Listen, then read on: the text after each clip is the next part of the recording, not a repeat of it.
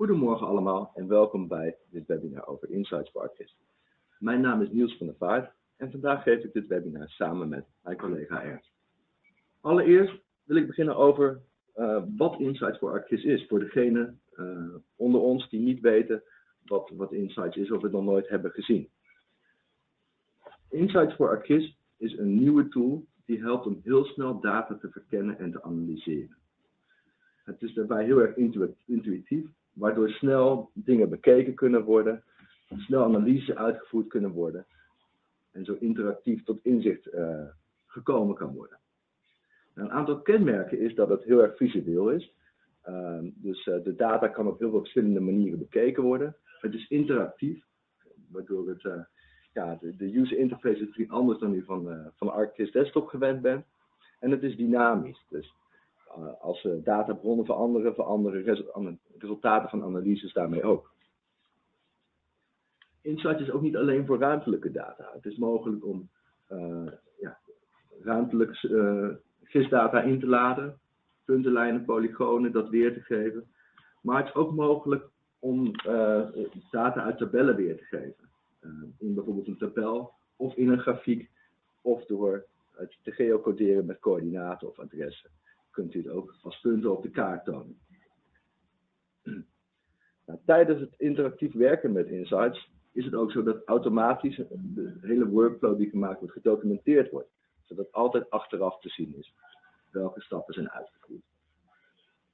Ik wil twee van deze punten die ik hier noem eens even uitlichten om, te laten, om een beter beeld daarvan te geven. Als we kijken naar interactieve analyse, dan is het zo dat uh, analyse niet wordt uitgevoerd per se door tools te draaien. Maar het is ook zo uh, dat het mogelijk is om dit te doen door data heen en weer te slepen. Dus door een bepaald gebied te pakken uit de kaart, is het mogelijk om bijvoorbeeld een ruimtelijk filter toe te passen op een andere kaart. Maar het is ook mogelijk om die manier data te aggregeren. Bijvoorbeeld als er allerlei punten zijn en dan worden polygonen opgesleept van bijvoorbeeld postcodegebieden, dan worden de punten geaggregeerd per polygoon. En op die manier is het heel eenvoudig om analyses te doen op een heel interactieve manier.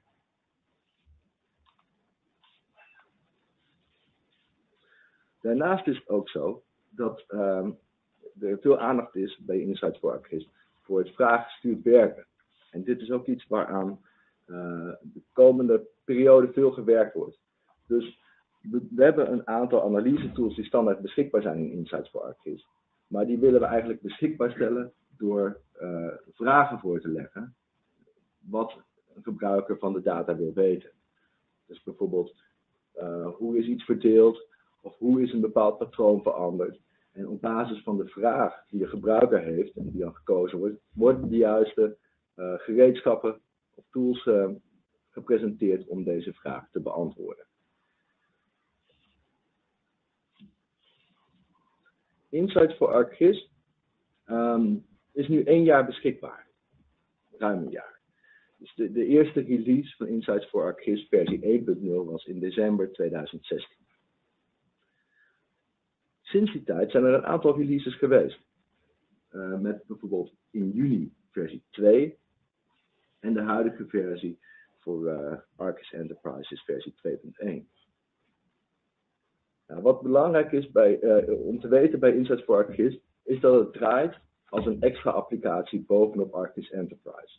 En om dit te kunnen gebruiken, is een base deployment van ArcGIS Enterprise vereist. Dus het is nodig om een portaal te hebben en daarbij een GIS-server en daarbij ook een datastore.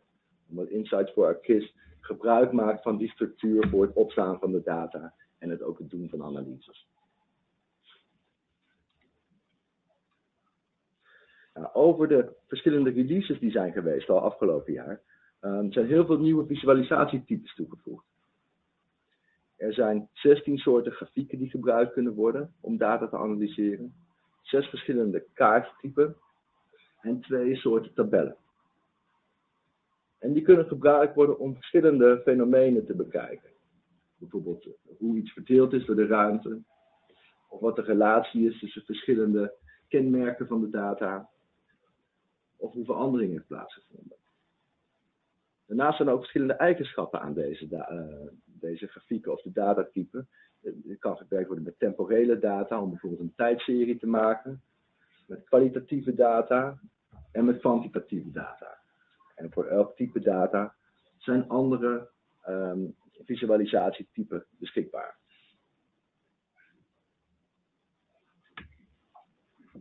Op dit moment um, is, is de nieuwste versie van Insights for ArcGIS versie 2.2. En die, uh, wat daarin nieuw is, is dat Insights for ArcGIS nu ook in ArcGIS Online beschikbaar is, naast de versie voor ArcGIS Enterprise. In december release van ArcGIS Online is versie 2.2 van Insights for ArcGIS beschikbaar gekomen. En uh, zeer binnenkort komt deze beschikbaar, ook voor ArcGIS Enterprise.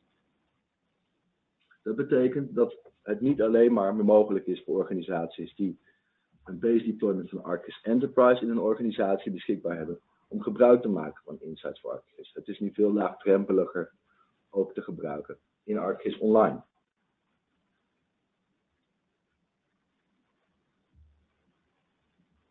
Nou, de reden dat wij ook Insights for ArcGIS Online beschikbaar hebben gesteld, is dat dit een van de meest gehoorde vragen is die wij uh, horen van klanten waarmee we praten over Insights for ArcGIS. En het biedt ook een aantal voordelen. Het eerste voordeel is dat er zeg maar heel eenvoudige toegang is uh, tot Insights. Het is, uh, er hoeft niks geïnstalleerd te worden, het draait gewoon in de cloud. Daarnaast zijn ook automatische updates beschikbaar. En is er dus een minimale beheersinspanning nodig om Insights voor ArcGIS te kunnen gebruiken. En een ander groot voordeel is dat het veel laagdrempeliger is om eens te bekijken hoe het werkt door een evaluatie te doen van Insights voor ArcGIS in ArcGIS Online.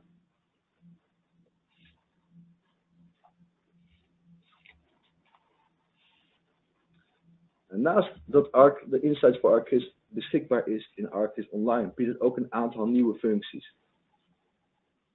Nou, allereerst is het zo dat zeg maar, de, alle functies die door de voorgaande releases opgebouwd zijn in ArcGIS Enterprise, zijn ook beschikbaar in Insights for ArcGIS Online, omdat de onderliggende code voor beide applicaties hetzelfde is.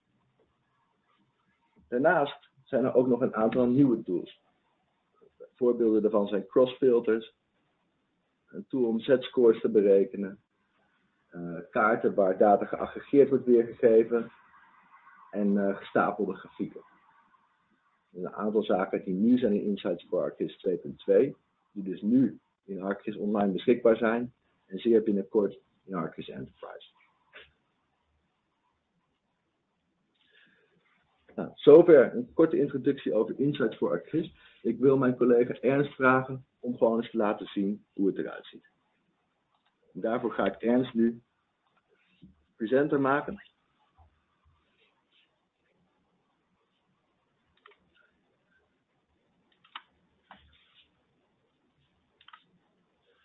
Goed, dat is lukt uh, nieuws. Um, waar ik mee begin is uh, eh, archis.com. Ik log, uh, log in op mijn organisatie via mijn username.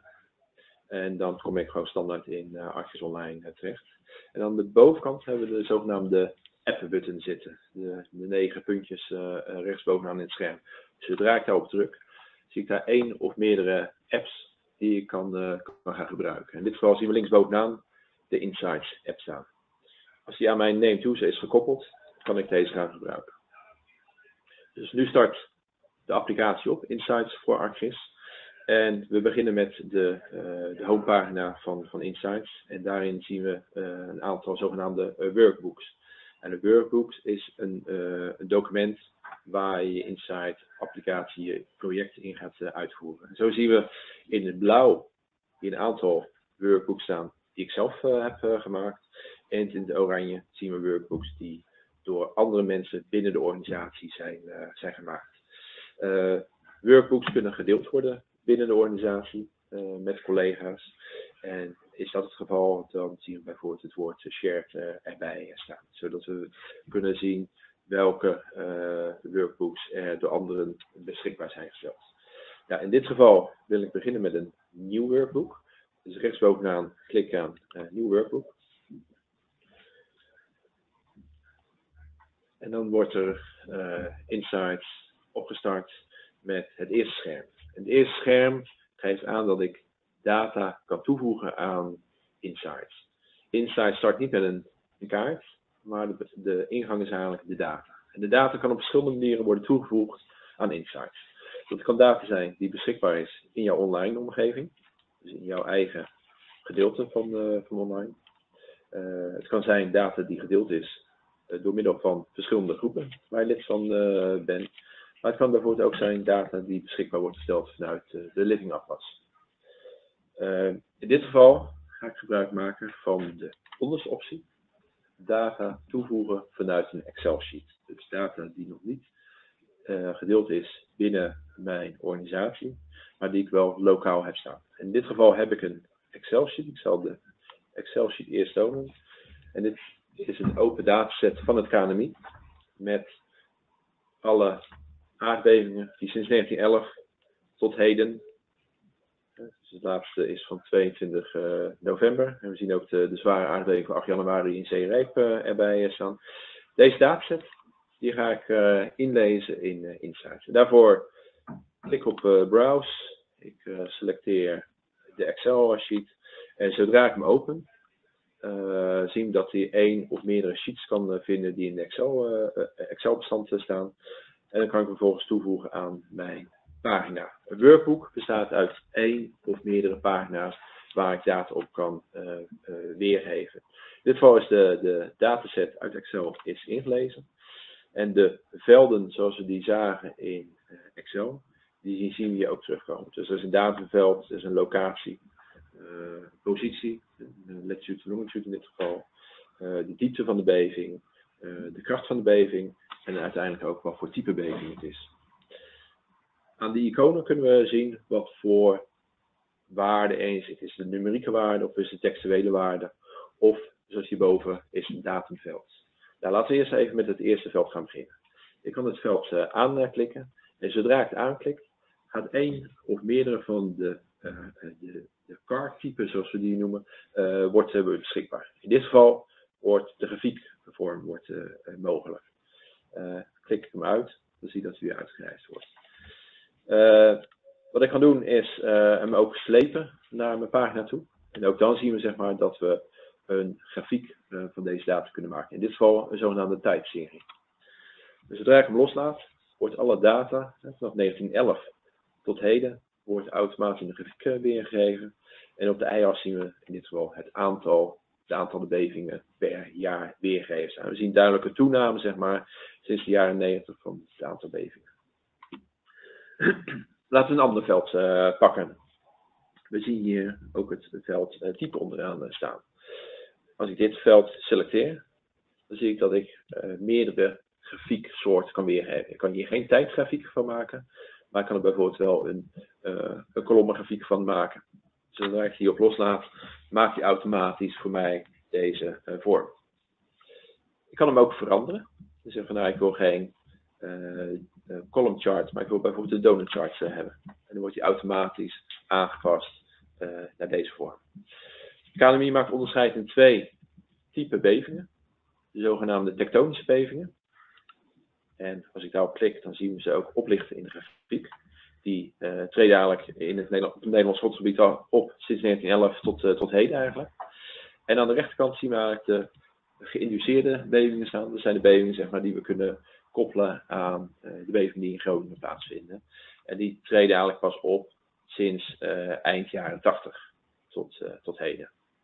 En dus op die manier zit er ook interactie tussen de, wat we noemen cards. Dus we hebben twee cards in dit geval op de pagina weergegeven. Als we even verder kijken naar de datum, dan zien we dat de datum ook onderverdeeld is automatisch in jaren, maanden, uren en minuten. En daar kan je dan ook heel eenvoudig uh, grafieken of tabellen mee, uh, mee, maken. Ik kan bijvoorbeeld het jaar pakken en daar een nieuwe grafiek van maken. Dit geval maak je een column chart uh, van. Waar een klein beetje opschrijven. Um, dan zien we in principe dezelfde grafieken als aan de linkerkant staan, nu in staafvorm. Als we nu de y-as veranderen en naar de variabelen niet de aantallen weergeven, maar de magnitude weergeven. En van de magnitude niet de totale magnitude weergeven, maar de gemiddelde magnitude. Dan zien we een duidelijke afname in de kracht van de bevingen. De bevingen in begin vorige eeuw die waren vrij krachtig. Hè? Die, eh, gemiddeld 4,9. Uh, en dat is langzaam afgenomen naar gemiddeldes van 1, 2 uh, zijn de bevingen. Dat zegt niks over de, uh, de, de, de verwoestendheid, hè? De, de, de, de schade die het, die het aanricht. Puur een, een getal die de, de kracht van de beving weergeeft. Ook hier kunnen we zeg maar bijvoorbeeld de geïnduceerde bevingen weergeven. En ook hier zien we dan zeg maar aan de rechterkant oplichten waar en wanneer de geïnduceerde bevingen hebben plaatsgevonden. Deze grafiek kunnen we ook aanpassen door de visualisatie aan te passen en ook de type weer te geven. Op dat moment zeg maar, zien we zowel de, uh, de geïnduceerde bevingen als de tektonische bevingen zien in de kaart staan.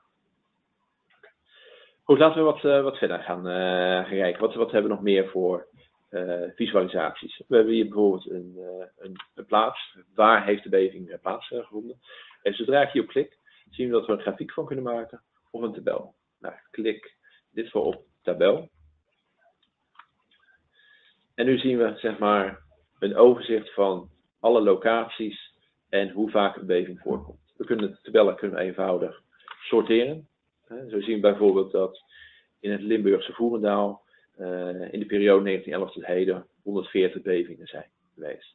Klik ik erop, dan zien we dat ook in de verschillende grafieken uh, oplichten wanneer dat uh, geweest is. En zo is de eerste in 1930 geweest. We zien ook wat, wat buitenlandse bevingen. Hè. Dus KNMI heeft niet alleen het, het Nederlandse grondgebied, maar ook België en Duitsland hierin in meegenomen. Goed, dus zo uh, kunnen we uh, de verschillende blazen uh, gaan, gaan bekijken. We kunnen in plaats van één variabele ook meerdere variabelen aanklikken. En zo zouden we bijvoorbeeld kunnen kijken of er relatie bestaat tussen de diepte van de bevingen en de kracht van de bevingen. Dus ik selecteer nu twee variabelen, twee numerieke waarden. En ik kan daar bijvoorbeeld een, een scatterplot van maken. Nou, zodra ik erop klik, zien we hier uh, een nieuwe kaart uh, verschijnen. En daarin zien we alle bevingen waar de relatie tussen de kracht van de beving en de diepte van de beving zit. Je ziet daar niet echt een relatie uh, in, terugkomen. Maar als we nu de visualisatie ook hierbij aanpassen en het type daarin in weer geven, dan zien we een duidelijk patroon ontstaan. namelijk in het oranje zijn de geïnduceerde bevingen. Ik hier in de grafiek klik, zien we die ook duidelijk naar boven komen. En die vinden allemaal plaats, zeg maar, tussen de 0 en de 3 kilometer diepte. Terwijl de, de tektonische bevingen eigenlijk over de hele range voorkomen. Hè, van 0 tot, tot meer dan 25 kilometer diepte. Dus zo kan je allerlei patronen, zeg maar, ontdekken. Het geval met deze bevingen is dat de meeste op 3 kilometer diepte zijn weergegeven. Dat heeft te maken dat het KNMI deze, dit type bevingen vastzet op, op deze waarde. Oké, wat we tot nu toe niet gezien hebben, is een kaart. Uh, voor een GIS-applicatie is dat natuurlijk een beetje, een beetje apart. Maar die, die map-optie die is nog niet beschikbaar gekomen. En dat kunnen we wel doen als daar een geometrie-veld aanwezig is. we hebben wel een latitude en longitude hierin zitten en die kunnen we gebruiken om deze dataset te voorzien van, van, van coördinaten. Dus wat we kunnen doen is zeggen we willen coördinaten toevoegen op basis van de velden longitude en latitude. Zit er een adres in, dan hadden we ook bijvoorbeeld voor adres kunnen kiezen en dan hadden we de data kunnen geocoderen. In dit geval hebben we tussen latitude en longitude met een bepaalde projectie, of, of GPS-coördinaten in dit, dit geval. en zodra ik op run druk, wordt de dataset voorzien van een nieuwe kolom met coördinaten. En zodra ik daarop klik, dan zie je nu dat de map-optie beschikbaar komt. En als ik daarop klik, dan zien we een overzicht van de locaties waar de bevingen hebben plaatsgevonden. De visualisatie van deze kaart kunnen we eenvoudig aanpassen. We kunnen bijvoorbeeld een veld zoals type pakken en op deze kaart slepen. En zodra ik hem loslaat, wordt de visualisatie automatisch aangepast, uh, zodat we de tektonische bevingen in het zuiden zien en de uh, geïnduceerde bevingen in het noorden. Het is dus een duidelijke tweedeling van type bevingen. Uh, we kunnen ook bijvoorbeeld het veld magnitude pakken. En ook dan kunnen we direct hier een kaart van maken. We hebben nu de optie tabel, grafiek en kaart. Dus zodra ik loslaat op kaart, wordt automatisch de kracht van de bevingen nu weergegeven op, op de kaart.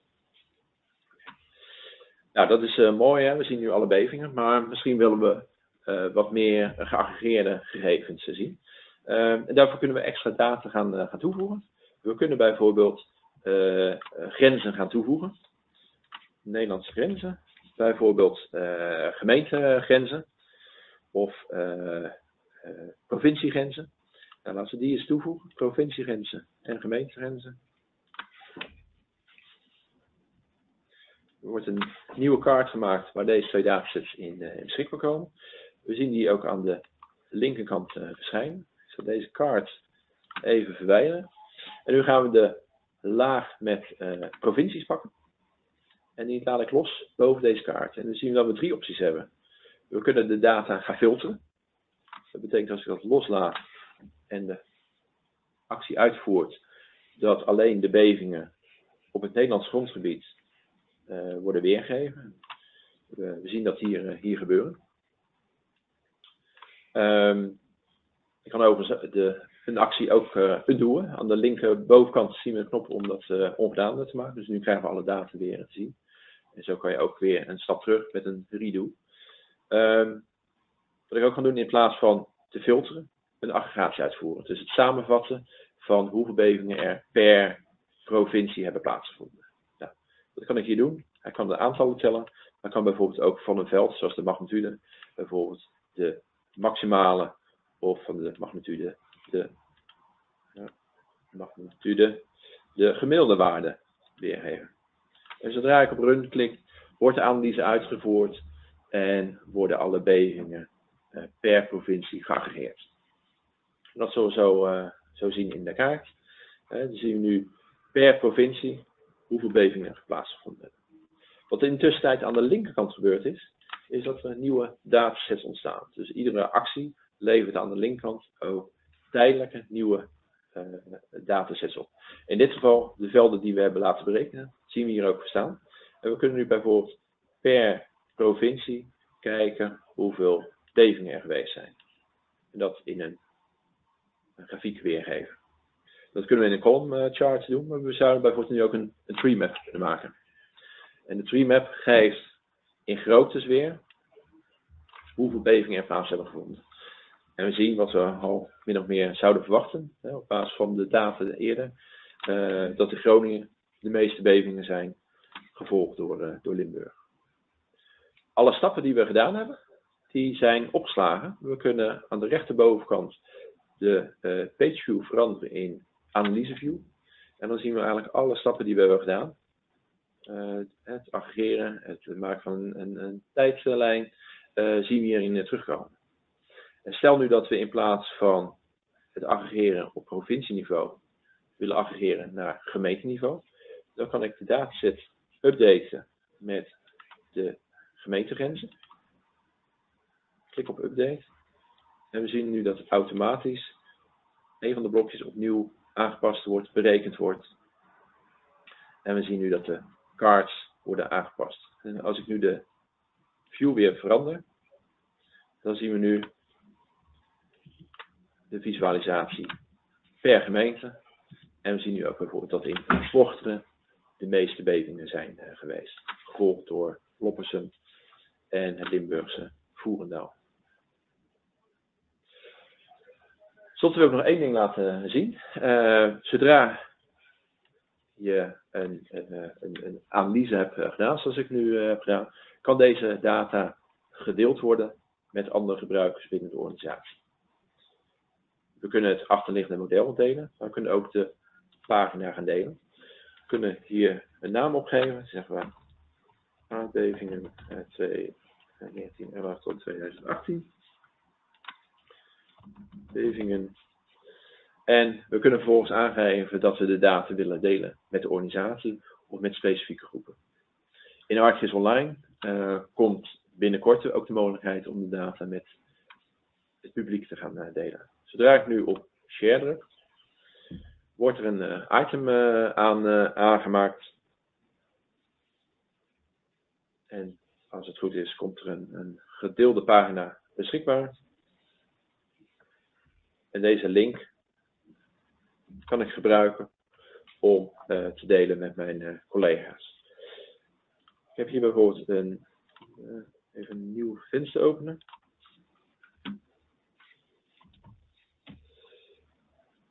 En daarin log ik in als een ander type gebruiker.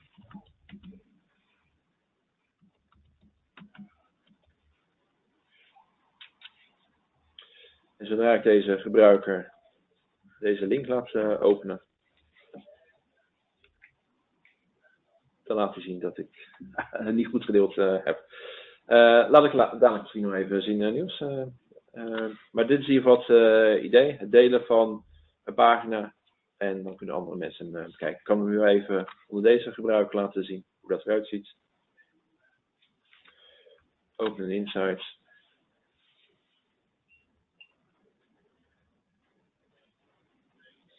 En dit is zeg maar wat uh, een collega zien krijgt van mijn werk. Dus alle cards zijn beschikbaar. De interactiviteit is aanwezig. Zoals we dat net ook uh, gezien hebben. Enige wat mijn collega niet kan doen, is nieuwe cards die aan toevoegen, uh, etc. Goed, gaan we nu terug naar, naar nieuws. Even het scherm even veranderen.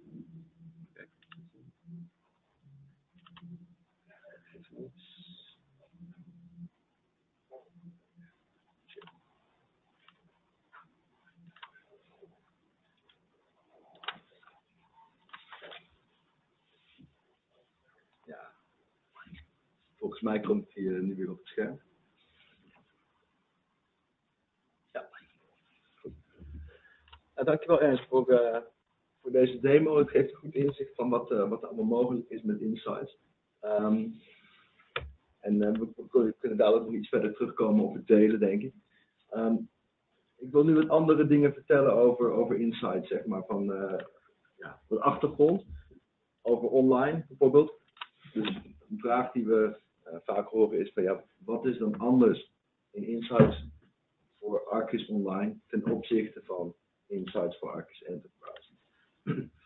en functioneel zijn de, twee versies van Insights zijn nagenoeg hetzelfde. Dus als uh, binnenkort 2.2 beschikbaar is voor Arcus Enterprise, dan kun je dezelfde kaartgrafieken tabellen maken met Arcus, Insights voor Arcus in Arcus Online en in Arcus.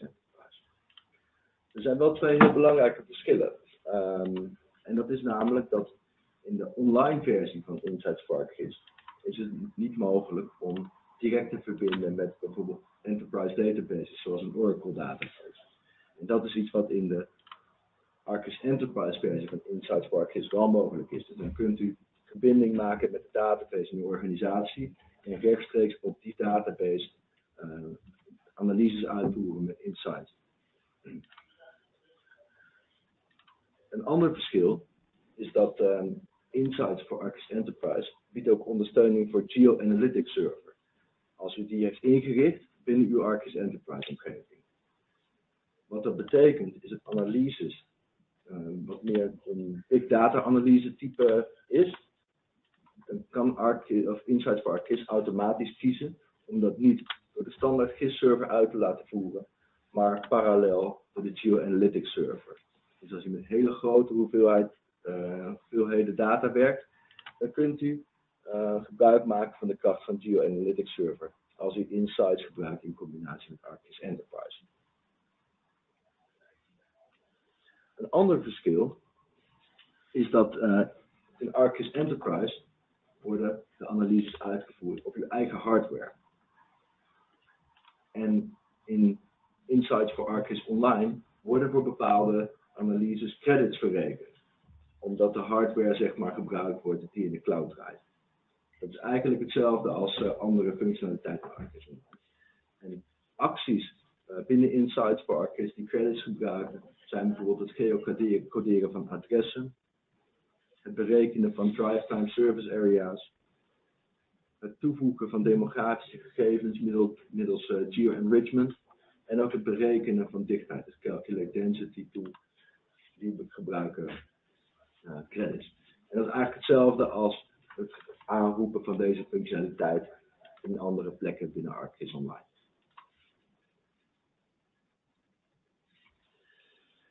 Nou, hoe zit het nou met het licentiemodel van ArcGIS, uh, Insights voor ArcGIS? Nou, er zijn twee manieren waarop uh, Insights voor ArcGIS bekeken kan worden. En Ernst heeft eigenlijk allebei laten zien. En de een is een author, dus iemand die work, workbooks kan aanmaken uh, met daarop pages en daarop cards en analyses kan doen.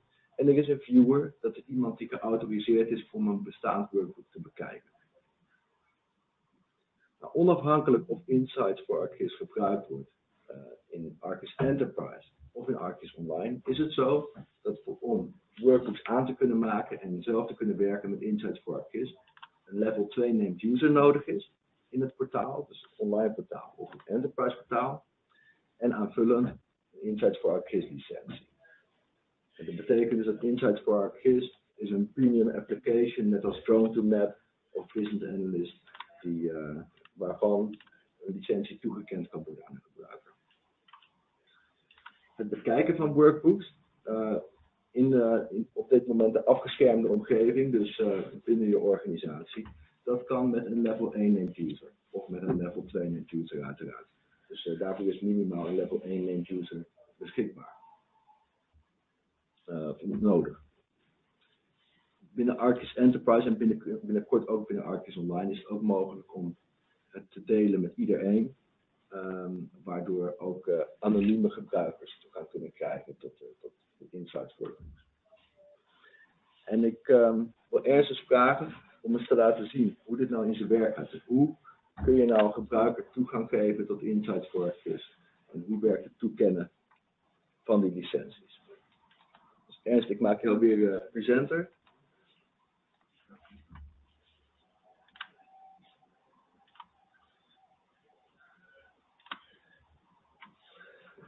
Oké, okay. um, ja, heel even terug uh, over, dat, uh, over dat delen. Uh, ja. Dat lukte net niet. Dat kwam omdat ik hem niet gedeeld had met de organisatie. Dat is ook eenvoudig te zien in mijn content. een workbook wordt beschikbaar als, gewoon als een item. maar ook de gedeelde pagina die ik net heb aangemaakt, komt beschikbaar als item. En we zien hier dat hij dat niet gedeeld is. Dus als ik hier de toegang aanpast en het beschikbaar stelt voor de hele organisatie. En ik ga nu nogmaals terug naar deze gebruiker en ik refresh mijn scherm. Dan zien we nu dat hij wel toegang krijgt tot dit uh, item en hij kan hem uh, openen. Dan zien we hetzelfde beeld als wat we net zagen. Nou, dit is een level 1 gebruiker. Mogen, hoe gaat het toekennen van rechten van insights? Nou, laten we even kijken onder het kopje organisatie in het portaal. Uh, ik ben ingelogd als, als een beheerder, waardoor ik de mogelijkheid heb om licenties te beheren. onder dat knopje vind je de mogelijkheid om Arctis Pro licenties toe te kennen aan gebruikers. maar dat kunnen ook aanvullende producten zijn. En het eerste product wat we hier aan de linkerkant uh, zien staan bij mij is Insights voor ArcGIS. Dus in dit geval hebben we uh, een 250-tal licenties uh, staan, waarvan de 43 beschikbaar zijn. Dus een aantal zijn al uitgedeeld. Um, stel dat ik een, een, een, een, collega een licentie zou willen toekennen. Ik even de, de eerste collega pakken. Zodra ik op haar naam klik, dan zie je dus welke applicaties zij recht toe heeft. In dit geval is dus Insights is ook aan haar toegekend. Hij heeft een level 2 voor nodig Insights aan haar naam toegekend te, te kunnen krijgen. Um, ik zal deze even actualiseren. Is geconfigureerd. Dus nu heeft zij level, uh, een Insights licentie en kan zij ermee aan, aan de slag. Als ik even de, die, andere gebruiker zoek die level 1 heeft, en als ik daar licenties configureren drukt, dan zien we inderdaad ook het lijstje met, uh, met uh, applicaties staan. Maar er zit ook achter welk niveau, level ik nodig heb. Dus dat is voor insight dat ik minimaal twee nodig heb. Dus zodra ik deze probeer toe te kennen aan deze level 1 gebruiker, dan wordt ook weergegeven dat het niet kan. Omdat zijn niveau, level 1, te laag is om daar deze applicatie aan toe te kennen. Dat betekent dus niet dat die gebruiker gedeelde werkboeken niet kan zien. Dat is wat, wat Niels net aangaf. Daar is minimaal een level 1 uh, eh, user voor nodig. En dat is ook wat we hier zien. Hè? Dus die level 1 is uh, ingelogd. En hij kan dus een gedeeld werkboek kan gaan, gaan bekijken.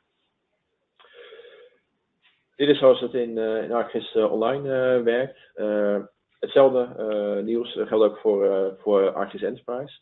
Ik heb hier het voorbeeld staan waar ik een, een Arctis Enterprise omgeving heb. Uh, ook hier ben ik ingelogd. Ook hier zien we de, de app button. En hier daar kan ik ook Insights voor ArcGIS opstarten. Maar dan specifiek voor, uh, voor Enterprise. Als ik dat doe, zien we exact hetzelfde uh, scherm optreden. dus ook daar beginnen we weer met het toevoegen van, of het kiezen van een, een, workbook. Ik kan een nieuw workbook aanmaken. En dan kunnen we direct even het verschil zien in, in mogelijkheden. En zodra ik hier. Nou, ik anders even, uh, even pakken. Als ik hier een, workbook uh, heb, ik zal even een nieuwe pagina openen. Dan zien we naast de opties die we zagen in ArcGIS Online, een extra optie, namelijk een connectie kunnen maken met een database. Dus we kunnen met de ArcGIS Enterprise omgeving een connectie maken naar bijvoorbeeld een SQL Server database of een Oracle database. Uh, dat is een verschil met ArcGIS Online. Okay. We gaan weer terug naar het scherm van nieuws.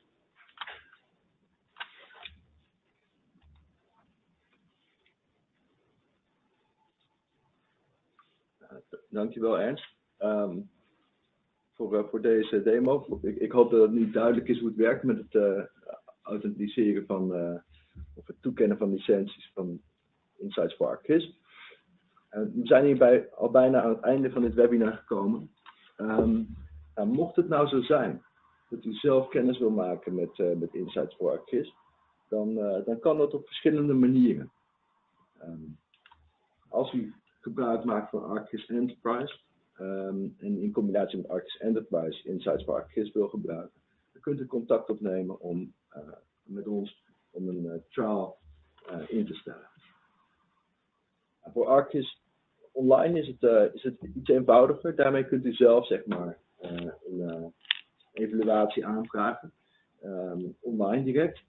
En dat kan um, enerzijds kan het bestaande account, als u al gebruik maakt van ArcGIS Online, dus als u binnen een organisatie kunt u met de organizational account toegang vragen.